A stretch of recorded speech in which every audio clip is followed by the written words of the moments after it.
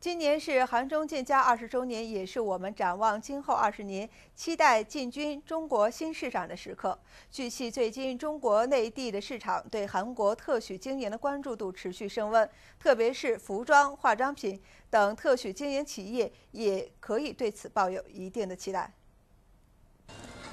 据调查，中国内陆市场消费者对韩国特许经营所表现出来的兴趣，比沿海地区消费者高四倍以上。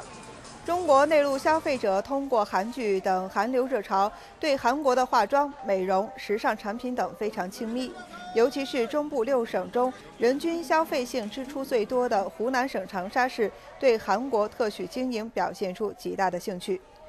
调查显示，居住在长沙市的二三十岁的年轻人最希望的韩国特许经营领域为服饰、服装，占百分之三十六；餐饮行业占百分之二十五；健康美容占百分之二十四。从他们喜爱的韩国产品来看，占据首位的为服装，占百分之三十八；其次是化妆品和食品，分别占百分之二十九和百分之二十七。但与韩国食品偏好度高这一事实形成对比的是，中国企业在餐饮行业特许经营上占据了上风。中国内陆消费者在选购服装时，不仅注重款式的设计，对质量的要求也很高，因此需要对包括原材料在内的所有工艺流程进行严格彻底的管理。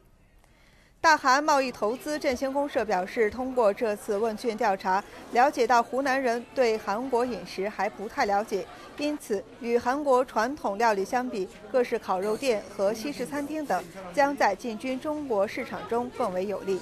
此外，在服装领域，要开设一些在年轻女性消费者消费能力之内的韩国服装特许经营店，才能收到良好的效果。